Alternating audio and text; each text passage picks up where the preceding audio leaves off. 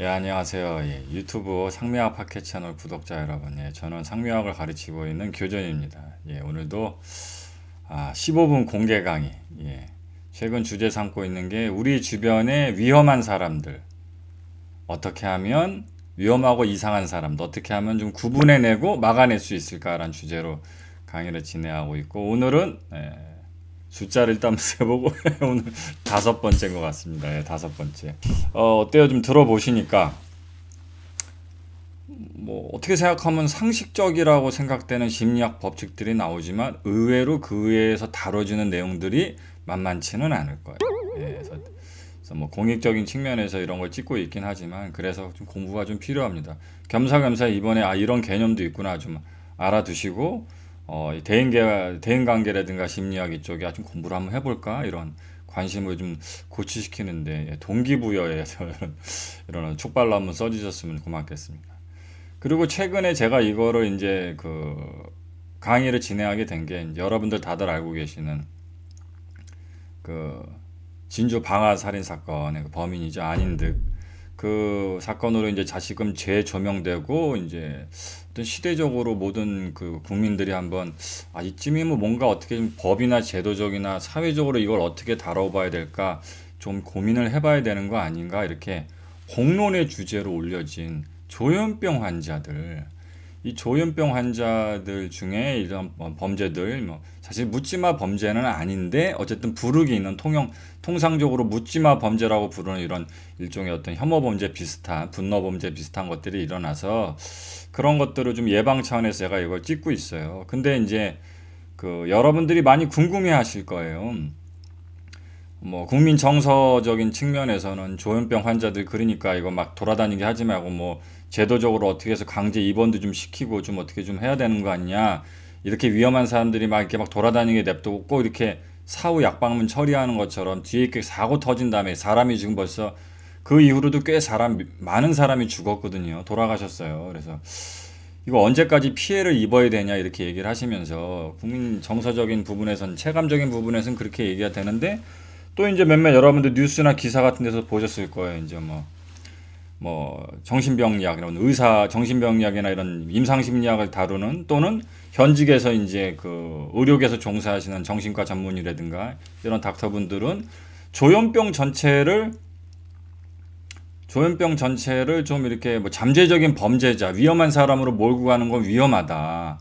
그 자체가 더 위험할 수 있다. 조현병이라고 해서 어떤 뭐 우리가 아주 위험한 사람으로 보지도 않고 대부분의 조현병 환자들은 그렇게 범죄를 저지르지도 않는다. 그래서 뭔가 어, 여러분 일반인들이 알고 있는 사실과 많이 다르다 이렇게 항변을 하는데 사실 서로 간에 좀 오해 소통이 좀, 좀 오류가 좀 있죠. 이렇게 소통이 잘 안 돼서 오해가 좀 있는데 그래서 이번 기회에 좀 조현병 과거에 이제 정신분열증이라고 얘기했던 거 요즘엔 조현병이라고 부르는데 이 조현병에 걸린 사람들 중에 왜 일부가 그런 범죄를 저지르고 조현병에서 만약에 위험한 부분들을 한번 살펴볼 수 있다면 어떤 부분 때문인지를 이번 기회에 잠깐 알고 가시면 그런 위험한 사람들을 구분하는 팁도 아실 수가 있고 그 다음에 뭐 좀 더 더 확장적인 범위에서 여러분들이 이제 관심 가지시는 뭐 동료, 연인, 회사, 직장 이런 데서 이제 사람들과 두루 잘 어울려서 친밀감을 형성하고 뭐 이렇게 좀 리더십도 발휘하는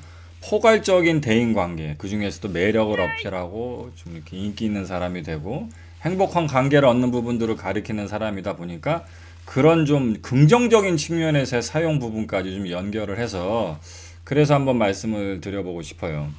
일단 조현병을 가진 사람들이 보이는 몇몇 가지 특징 중에서 왜 어떤 부분들 때문에 그런 위험한 현상들이 생기느냐. 물론 다양한 조현병의 어떤 특징이라든가 그 원인자라든가 이런 걸 여기서 다 거론할 수는 없고 정식의 강의가 아니니까 쉽게 이해하시게 좀 압축시켜서 물론 압축시키다 보면 모델을 이렇게 심플하다 보면 조금 간과하는 부분이 있을 수는 있지만 어쨌든 이게 좀 대중적으로 좀 이렇게 얕고 넓게 강의하는 부분이라서 그건 좀 이해를 해주시고 그래서 일단 조현병을 가지신 분들이 위험성을 보일 수 있는 어떤 그 특징 중에 하나를 집어보자면 망상적인 부분에 있습니다. 뭔가 자폐적이고 망상적인 심리 현상을 가지고 있다. 이 부분 때문에 그렇습니다. 왜 그런지 이거를 좀 더 쉽게 한번 설명을 드려볼게요. 제가 가끔가다 그런 얘기합니다. 내 탓이든 네 탓이든 상황 탓이든 누구 탓이든 자신이 어딜 가서 학교, 직장, 뭐 기타 등 다양한 나이도 좀 계속 먹어오고 다양한 환경 속에서 다양한 사람을 만나왔는데 이상하게 자기는 어디 가서 다른 사람들하고 조금 많이 다투어서 그 때문에 상처도 있고 좀 갈등이 생긴 경우가 좀 있었다. 그게 누구 탓이든 그런 게 좀 있었다. 이런 얘기를 좀 하시는 분들한테 제가 종종 말씀드리는 걸 여기에 접목해 볼 수 있습니다. 쉽게 얘기해서 망상 그럼 우리는 어 망상 망상은 뭐 미친 사람들만 하는 건가 보다. 보통 뭐 환청, 환시 사실은 없는데 보여. 어이, 할아버지 막 귀신이 따르고 뭐 뭐라고? 내 뭐라고? 내 귀에 도청 장치가 뭐 이런 식의 것들 뭐로 이런 뭐 해리 현상부터 시작해서 몇몇 가지 물론 그 조현병을 가진 사람들 중에 그런 현상들, 중증의 현상들을 보이신 분들도 있지만 망상을 가진 망상이 있다 그러면 어, 내가 미쳤다고 이렇게 받아하신 분들이 계세요. 근데 망상은요. 조금 스펙트럼을 넓혀서 일반적인 개념에서 살펴보자면 뭐까지도 망상에 포함되냐면 사실 사실을 파악하는 데 필요한 충분한 정보량을 가지지 못한 상태. 거기서 그냥 망상이 생깁니다. 무슨 뜻이냐면 우리 그 인간은 충분한 판단 능력이 있고 건강한 뇌를 가지고 있지만 그렇다고 해서 우리가 예, 무슨 최근에 개봉한 무슨 어벤져스에 나오는 무슨 여기만 되면 뭐 다 보이고 막 슈퍼컴퓨터처럼 다 계산하고 이런 뇌를 가진 건 아니거든요. 봐야 알 수 있고 들어야 알 수 있고 어떤 사람, 상황, 사실에 대한 분명하고도 객관적인 판단을 내려면 그 사실 판단을 내리는데 필요한 충분한 양만큼의 정보가 있어야 됩니다. 정보가 없이 뭘 할 수는 없어요. 어떤 사람이 있는데 그 사람에 대해서 아무 정보도 없는데 저 사람 어떤 것 같아요? 생긴 게 새끼 싸가지 없게 생겼는데 이게 망상이라는 뜻인 거예요. 뭘 알아요? 뭘, 뭘 안다고 싸가지 없어, 저 사람이. 뭐 정보가 있어야 될 거 아니야. 그러니까 우리가 사실을 판단할 때는 사실을 객관적이고 합리적으로 판단하는데 충분할 만큼의 사실과 직결된 뒤에 배경적 정보를 가지고 있어야 됩니다. 여러분들이 주식 투자라든 집을 사든 직장에 취직을 하든 시험을 보든 뒤에 배경적 지식이 있으니까 그거라는 거지. 그게 없으면 미친이신 거죠. 그런데, 그런데, 보통 사람들은 다 눈이 두 개밖에 없고 귀가 여기밖에 없고 보이는 것만 볼 수 있어요. 안 보이는 건 못 보죠. 여러분 제가 무슨 속옷 입고 있는지 아세요? 모르시잖아요. 안 보이니까. 근데 우리가 타인과 대화 나누거나 어떤 일을 처리할 땐 눈에 보이는 것만 있진 않아요. 그 사람이 그래서 뭐, 뭐, 어, 오랜만이에요. 언제 밥 한 끼 해요? 이렇게 해서 그 사람이 나한테 뭐라 했다 지금? 언제 밥 한 끼 해요? 표면적으로 나온 말은 언제 밥 한 끼 해요라는 말이니까 그러니까 그러면 그 액면 그대로면 그래 밥 한 끼 하자 언제요? 사람 어 오랜만에 아 이거 언제 아뭐 아, 반가운데 이제 시간이 바빠 아 언제 뭐 얘기 좀 해야 되는데 아 우리 언제 한번 시간 내서 식사 한 끼 합시다 이렇게 얘기하고 가는데 붙잡아 세워놓고 식사 한 끼요? 좋죠? 뭐 먹을까요? 언제요? 날짜 잡을까요? 여러분들 바로 이룰 수는 없어요. 그게 뭐다? 그게 바로 망상이죠. 그게 보통 망상인데 그걸 일반적에서 눈치가 없다, 센스가 없다, 이 더듬이가 잘린 것 같다. 아 진짜 뭐가 진 고구마 100개 먹은 것 같아. 왜 저렇게 뭐가 못 알아듣니? 사오정이니? 막 이렇게 우리가 얘기하는 사람들이 사실은 넓은 스펙트럼적 개념에서 살짝 망상증이 있는 거야. 여기서 망상이란 뭐다? 사실을 판단하는데 필요한 충분한 양의 정보를 얻지 못하면 사실과 괴리감 있는 생각을 하고 있는 거잖아요. 현실은 A인데 나 혼자 B구나 이렇게 생각하는 이게 뭐다? 그게 망상이에요. 현실은 A인데 내가 생각하긴 B야. 그러니까 이건 B야. 그러니까 왜? 나는 B라고 생각하니까. 이게 망상이란 말이에요. 그러니까 망상은 멀쩡한 사람도 있을 수가 있어요. 사실을 판단하는데 필요한 충분한 양의 정보를 얻지 못하고 망상을 가질 수밖에 없단 말이에요. 근데 망상이 일반적인 상황에서 어떻게 생긴다? 표면적인 정보만 갖고는 상대의 숨겨진 의도, 감정, 지금까지 흘러온 일의 history 이런 것들을 충분히 파악해서 맥락을 알 수가 없어요. 맥락을 알 수가 없단 말이에요. 그러니까 이게 도대체 뭐 때문에 어떻게 흘러와서 뭐 하자는 플레이인지 지금 뭐, 뭐 하자는 시츄에이션인지를 알아야 아, 이게 그렇구나. 그게 A군. 이렇게 판단할 수 있는데 그게 없으면 망상인 B가 된단 말이에요. 그래서 표면적에 있는 표의, 표면적으로 드러난 상대방의 말과 행동, 상대방의 표정과 감정, 그것만 갖고 상대방의 진짜 의도인 뒤에 감추어진 함의 또는 일의 진짜 진의 이걸 전부 다 알 수 있는 건 아니란 말이에요. 그럼 그거 어떻게 알아야 되냐? 타진을 해봐야 하는 거예요. 그냥 봤다고 알고 들었다고 아는 게 아니고 내가 뭘 내 나름대로 이래서 이래서 이렇구나. 아 그렇구나. 나 혼자 이렇게 막 추론하는 게 아니고요. 과학이 심리학의 철학에서 분리된 이유가요. 철학적인 논제의 제시를 실험이라는 걸 통해서 증명을 해서 데이터를 얻어보자. 사실과의 괴리를 좁히자라는 개념에서 나온 과학적 접근이란 말이에요. 그러니까 내 생각이 맞는가 아닌가 내가 가설을 세울 수 있는데 제가 왠지 나 내가 좋아하나 어디 밥 한 끼 하자고 아, 난, 난 나한테 나한테 좀 데이트 신청하는 건가 이건 내 가설이고 내가 너무 잘생겼나 아, 나 턱선이 너무 좀 세련되긴 해. 이건 내 생각이고 그런 내 생각이 맞는지를 타진을 해봐야 될 거 아니에요. 그렇죠. 이런 타진을 해봐야 되는데 그런 타진은 상대방한테 내 가설이 참이란 전제하에 진짜 이런 건가란 뭔가의 이 정보적 제시를 던져서 그게 맞는지 거기에 따라서 상대방이 반응하는 그 후차적인 모습을 보고 아 내 생각이 맞구나 아니면 또 다르구나 이렇게 판단해 나가는 거예요. 그런데 이런 부분들은 철저하게 그런 상대방의 타진을 하려는 관계적 의도가 있어야 되고 그 다음에 관계적 반응이 일어난 걸 보고서 아 이래서 저랬구나 저래서 저렇구나 역지사지로 상대방 입장이 돼서 아 이래서 이렇구나고 상대방 입장이나 감정이나 의도를 공감할 수 있어야 되는데 그 공감 기능이 조현병을 가지면 자기 생각적으로 많이 굴러가기 때문에 상당히 더뎌지고 퇴화돼요. 그러면 어떻게 된다? 누군가하고 사이에서 누군가하고 사이에서 자꾸 오해가 생길 수밖에 없다 이 뜻이에요. 실제 저 사람의 의도와 내가 같게 생각을 잘 못해요. 저 사람은 A라고 생각하는데 나한테 뭐, 뭘 했어요. 근데 저 사람은 A라는 선한 의도 갖고 왔는데 내가 내 조현병 환자 입장에선 왜 나한테 B야? B라는 의도 생각하냐? 왜 나한테 이런 왜 나를 했거지? 이 새끼 나를 무시하는구나. 이 새끼 이런 거 아니야? 라고 자꾸 오해를 할 수 있는 여지가 생긴단 말이에요. 자, 보세요.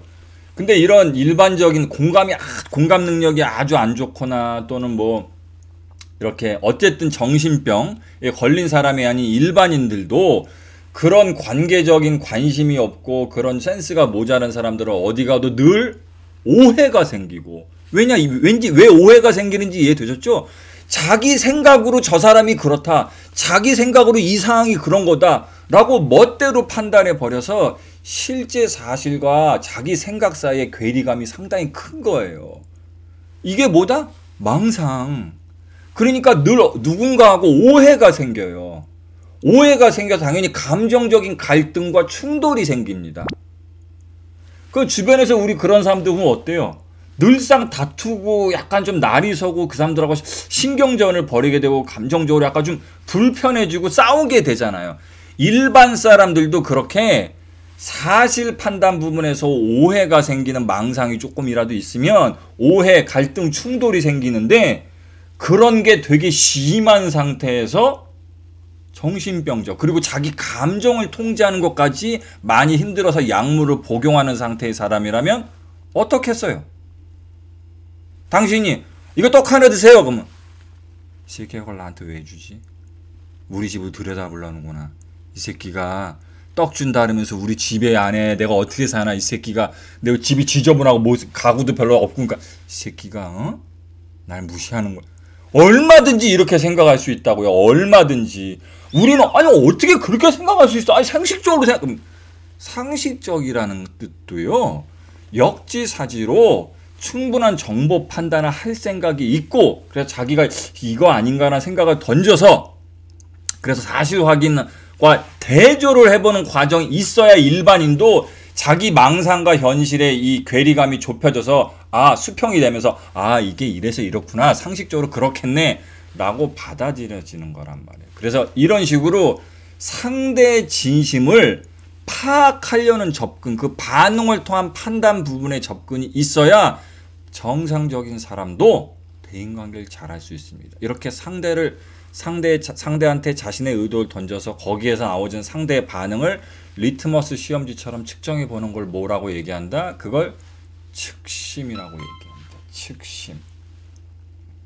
그래서 어 제가 그 이 시리즈 이 15분 공개 강의 시리즈 그 우리 주변의 위험한 사람들 이 시리즈에서 2편째 두 2편째에서 제가 상대방의 얼굴 그 중에서도 미세 표정 반응을 보고 상대의 감정이나 숨겨진 진실의 유무를 파악하는 micro expression이라는 개념을 제가 강의해 드렸었어요.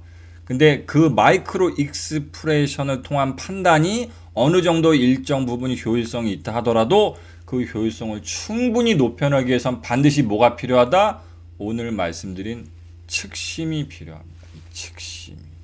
그래서 micro expression을 다뤘던 미드 Lie to Me 그 극중 그 미드 Lie to Me의 극중 주인공이었던 칼 라이트만 박사가 상대방의 표정이나 제스처라든가 행동, 이런 body language 분석을 다 포함해서 micro expression, body body language 분석 이런 걸 통해서 상대방이 대충 이럴 것이다 가설을 세운 다음에 그런 자신의 생각이 맞는지 또는 다른 건지를 확인할 때 꼭 뭘 했다? 그걸 상징하는 게 그 영화에서 바로 그 대사로 나옵니다.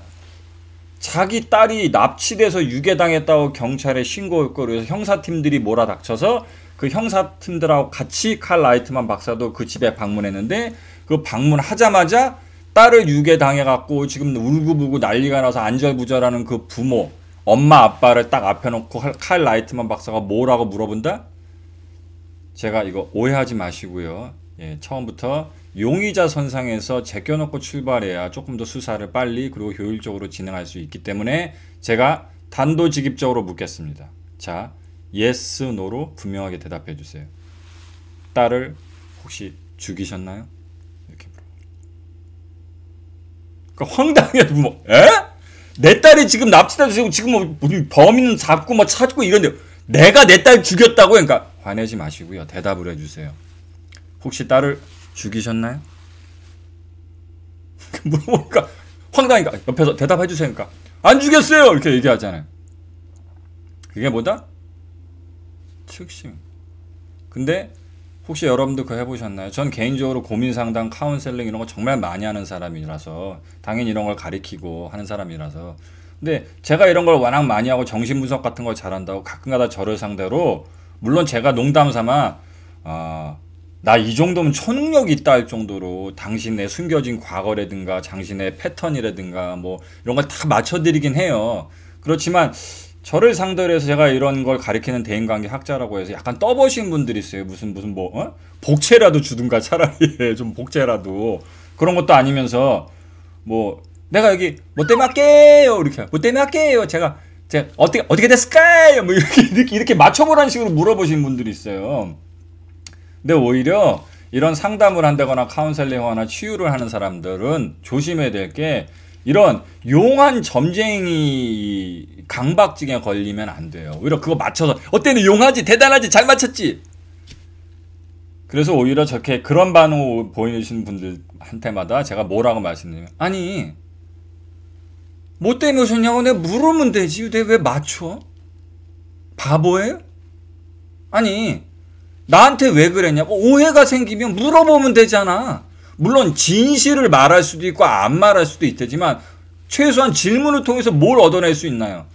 이 사람의 이 질문과 연관된 반응, 실제적인 반응을 볼 수 있잖아요. 근데 그거 안 묻지. 그러면서 맨날 생각만 하지. 네 생각이 맞다 했지. 오빠가 전화 안 받으면 노래방에서 지금 막 여자들하고 놀고 있고 클럽 가서 이런 거. 네 생각은 그렇지. 그래서 네가 거야. 그게 문제의 출발이거든. 제가 그렇게 얘기해 드립니다.